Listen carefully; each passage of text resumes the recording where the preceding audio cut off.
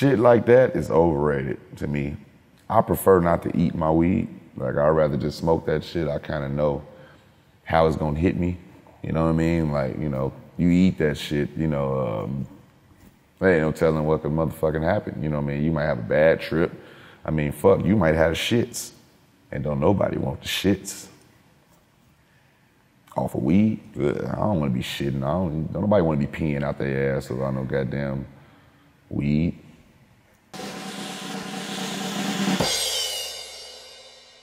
Um, that's some uh, overrated shit. I don't need a pet that could possibly fuck me up. I don't want a pet that I can't hear walking around the house. You feel me? Uh, I'm not with the silent creepers. You got some shit that walk around the house you can't hear. You need to attach a motherfucking bell or a whistle or some shit to that motherfucker or something so I can hear that motherfucker coming. I'm straight. Mm, overrated. You know, you a player, you get ass all the time. You know what I'm saying? I don't need no ass. You know, on my birthday. You know, it's cool. You know, I would like some ass on my birthday. You know what I'm saying? My baby mama flying to Canada to come see me on my birthday. You know what's going down, child. You already know. I'm gonna put another baby in your ass.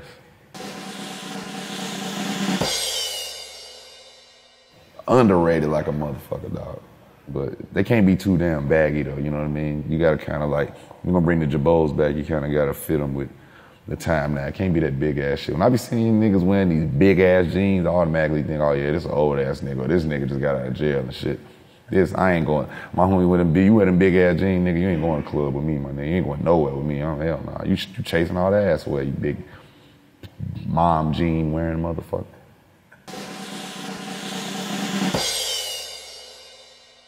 That motherfucker overrated as fuck.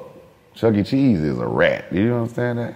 The piece ain't all that good. That shit actually, that shit actually getting kind of like ghetto and shit. I don't fuck with Chuck E. Cheese. I took my daughter to Chuck E. Cheese one time. I was like, hell nah. The bougie side of me came out. I was like, we are not coming to this shit ever again. Shit, underrated.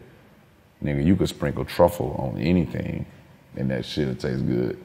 You could pour truffle oil on shit and it probably tastes good. You know what I'm saying? So, hey, it's underrated, man. You need that truffle. Truffle butter, truffle oil, truffle every. I put some truffle butter on Nicki Minaj ass, glaze that motherfucker.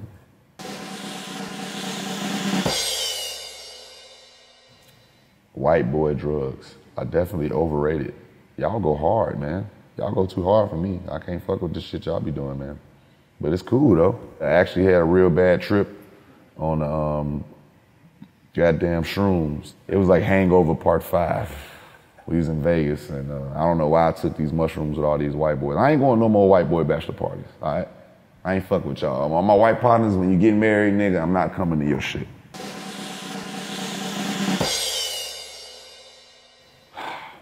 Overrated.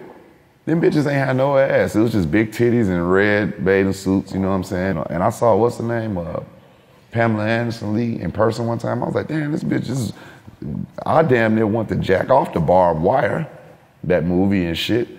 But then when I seen it in person, I was like, ah, oh, she got some big ass titties and she ain't got no ass though, so overrated.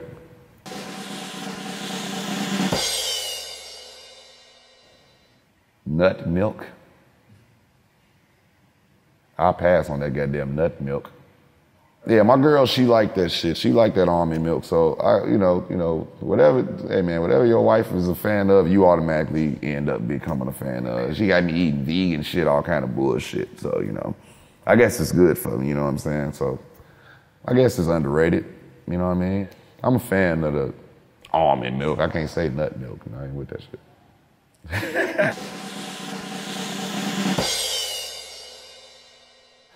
Fucking Overrated, man.